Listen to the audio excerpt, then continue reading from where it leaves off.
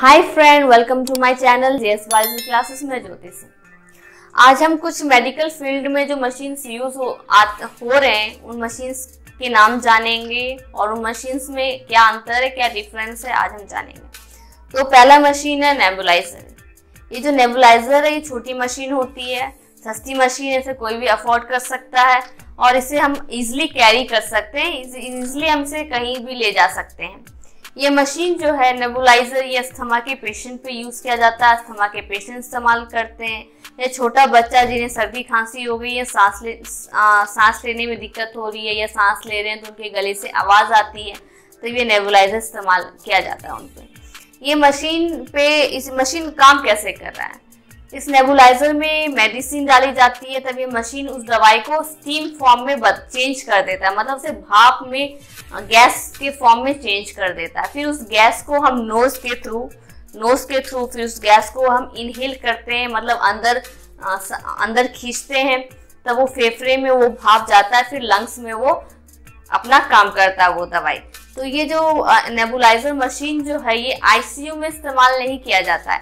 ICU का full form है intensive care unit ये ऐसा एक ऐसा रूम है जहाँ पे जो सीरियस जो इमरजेंसी पेशेंट होते हैं, बहुत सीरियस पेशेंट है, इस आईसीयू में रखा जाता है। यहाँ पे नर्स डॉक्टर 24 घंटे रहते हैं पेशेंट को देखने के लिए। तो ये आईसीयू में इस नेबुलाइजर को नेबुलाइजर का इस्तेमाल नहीं किया जा सकता है, नहीं किया जाता है, या कोरोना पेशेंट पे इस नेबुलाइजर का इस्तेमाल हम नहीं कर सकते, क्योंकि कोरोना पेशेंट का जो लंग्स है वो ज़्यादा डैमेज हो चुका है, ज़्यादा सीरियस पेशेंट है तो ये नेबुलाइजर उन पर वर्क नहीं करेगा। तो ये बस ये जो ज़्यादा सीरियस पेशेंट नहीं है, उन पर ये काम नेबुलाइजर अपना करता है। अब हमारी सेकेंड मशीन है जो मेडिकल फ़ील्ड में यूज़ हो रहा है ऑक्सीजन ऑक्सीजन कंसेंट्रेटर ये ऑक्सीजन कंसेंट्रेटर बिजली या बैटरी पे काम करता है। इस मशीन की खास बात है कि इसमें ऑक्सीजन खत्म नहीं होता है। अब इसमें ऑक्सीजन क्यों नहीं खत्म हो रहा है? ये कैसे वर्क कर रहा है, अब हम जानते हैं। ऑक्सीजन कंसेंट्रेटर क्या कर रहा है? एटमॉस्फेरिक एयर को, हमारे एटमॉस्फेयर में नाइट्रोजन 78 परसेंट ऑक्सीजन 21 परसेंट और अदर गैस 1 परसेंट प्रेजेंट है। तो ये ऑक्सीजन ऑक्सीजन कंसेंट्रेटर क्या कर रहा है? एटमॉस्फेरिक एयर को एब्जॉर्व कर रहा है, फिर उसमें फ़िल्टर लगे हुए होते हैं इस मशीन में। फिर सारे गैस को ये फ़िल्टर करता है, अलग करता है। और फिर ऑक्सीजन यहाँ में तो ऑक्सीजन की ज़रूरत है तो ये ऑक्सीजन को कॉन्सेंट्रेट फॉर्म में रख प्रोवाइड करता है।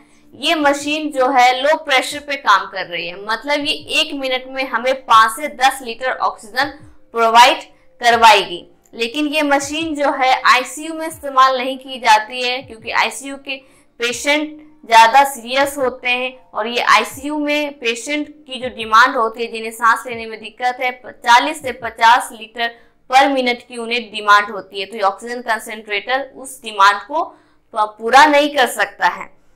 ऑक्सीजन कंसेंट्रेटर को जब हम बड़े पैमाने बिग प्लांट में जब उसे हम लगाएँगे, तब से पीएसए बोला जाता है। प्रेशर सीम एब्जॉर्प्शन बोला जाता है। इस ऑक्सीजन कंसेंट्रेटर की बस एक खास बात है क्योंकि इसमें ऑक्सीजन खत्म नहीं हो रहा है क्योंकि एटमॉस्फेरिक एयर को ले रहा है और उसे फिर सारे एयर को डिफरेंट बांट रहा है अलग अलग में। और इसमें बैटरी और ये बिजली में काम काम कर रहा है। अब हमारा तीसरा वर्ड है L M O liquid medical oxygen बोले तो लिक्विड ऑक्सीजन या ऑक्सीजन सिलेंडर जो ये शब्द हम अब डेली सुनते आ रहे हैं, इसमें जो इस सिलेंडर में जो ऑक्सीजन रखा हुआ है, वो लिक्विड फॉर्म में रखा हुआ है। अब इस ऑक्सीजन को हम गैस फॉर्म में भी रख सकते थे, लेकिन लिक्विड फॉर्म में क्यों रखा हुआ है? क्योंकि और गैस जो है, वो ज़्यादा जगह ऑक्यूपाई करती है, ज़्यादा जगह लेती है, जबकि लिक्विड जो है, हम उतना ज़्यादा कम जगह ऑक्यूपाई करती है, जिसके कारण हम कंटेनर में ज़्यादा ऑक्सीजन रख सकते हैं। ये जो ऑक्सीजन बनाने की, जो लिक्विड ऑक्सीजन बनाने की जो प्रक्रिया है, वो बिग प्लांट में की जाती है। फिर उस ऑक्सीजन को हम टैंक में लेके आ टैंक में भर के लेकर आते हैं। फिर हर एक हॉस्पिटल का अपना एक टैंक होता है। फिर वहाँ पे रिफिल किया जाता है फुल किया जाता है। फिर उस टैंक से कंटे कंटेनर में रखा जाता है, जिसे हम ऑक्सीजन सिलेंडर के नाम से जानते आए हैं।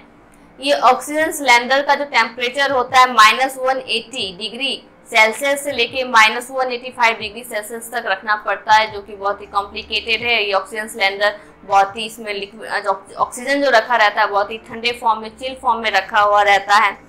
इसका, इस ऑक्सीजन सिलेंडर की खास बात है प्लस पॉइंट है कि इसे पावर सप्लाई की आवश्यकता नहीं है, ज़रूरत नहीं है। मतलब बैटरी या बिजली पे ये काम नहीं करेगा। सिलेंडर है, इसमें एक रेगुलेटर लगा हुआ है। इस रेगुलेटर को जब हम ऑन करेंगे तब ये लिक्विड ऑक्सीजन गैस फॉर्म में चेंज हो जाएगा, तब उस ऑक्सीजन को हम गैस मास्क के थ्रू अपने लंग्स में ले सकते हैं। अब हमारा फोर्थ वर्ड है वेंटिलेटर हम सुनते हम सुनते आते हैं या सुनते हैं कि पेशेंट जो है आईसीयू में वेंटिलेटर पे है। तो ये वेंटिलेटर क्या है? पेशेंट कितना सीरियस हो गया है कि उन्हें वेंटिलेटर पे रखना पड़ा है। जब पेशेंट बिल्कुल कैपेबल नहीं है। उस पेशेंट के बॉडी में बिल्कुल अब जान नहीं है एनर्जी नहीं है कि वो सांस अब ले सके। मतलब वो अब उसे इनहेल और एक्सेल करने की भी ताकत नहीं है। तब डॉक्टर को उस पेशेंट को वेंटिलेटर पे रखना पड़ता है। इस डॉक्टर के लिए भी बहुत ही कॉम्प्लिकेटेड बहुत ही जटिल काम है पेशेंट को वेंटिलेटर पे रखना। अब पहले डॉक्टर को अब कैसे रखते हैं वेंटिलेटर पे पेशेंट को? पेशेंट को पहले एनेस्थीसिया जाता देना पड़ता है, बेहोश करना पड़ता है। अगर पेशेंट होश में रहेंगे तो वो वेंटिलेटर पे उन्हें नहीं रखने देंगे, जो प्रोसेस होता है वेंटिलेटर पे रखने का। पहले डॉक्टर क्या करते हैं, एक मेडिकेटेड रॉड लेते हैं उस रॉड से लोअर नीचे वाले जबड़े को खोलते हैं, क्योंकि जब पेशेंट बेहोश होते हैं तो उनका सब कुछ मुँह और गला सब बंद रहता है। तब वो उनके मुँह में वो मेडिकेटेड रॉड डालते हैं, ताकि उनका जो विंड पाइप है, उस पेशेंट का विंड पाइप उन्हें दिख सके।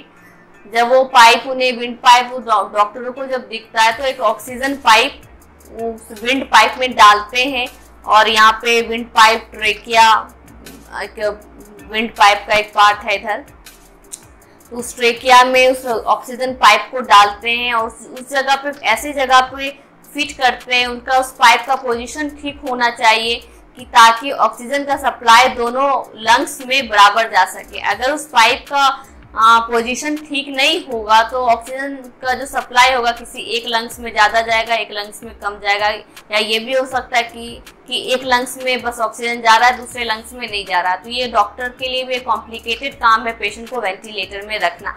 लेकिन ऑक्सीजन सिलेंडर में क्या होता है कि जो पेशेंट ठीक है, वो थोड़ा दिक्कत हो रहा उन्हें सांस लेने में, लेकिन वो अब सांस लेने उतनी कैप उनका बॉडी उतना कैपेबल है कि वो आराम से सांस ले सके। तो एक आराम सा है कि एक बस पाइप डाल देते हैं, वो सांस खुद से ले रहा है, लेकिन वेंटिलेटर में पेशेंट खुद से सांस नहीं ले रहा है। वो ऑक्सीजन डायरेक्टली पेशेंट के फेफड़े तक पहुँचाया जा रहा है। बस पेशेंट को कोई काम नहीं करना है, वो हो, बेहोश में है। बेहोश है, उन्हें एनेस्थीसिया दिया गया, वो पाइप को बस लंग्स तक पहुँचा दिया गया, दोनों लंग्स में बराबर ऑक्सीजन सप्लाई हो रहा है। अगर आपको मेरा वीडियो अच्छा लग रहा है तो लाइक करें, कमेंट करें, शेयर करें। अगर आपने अभी तक मेरे चैनल को सब्सक्राइब नहीं किया है तो सब्सक्राइब करें और सब्सक्राइब के बगल में बेल आइकन उसे प्रेस करें ताकि आपको नोटिफिकेशन जा सके नेक्स्ट वीडियो का। Thank you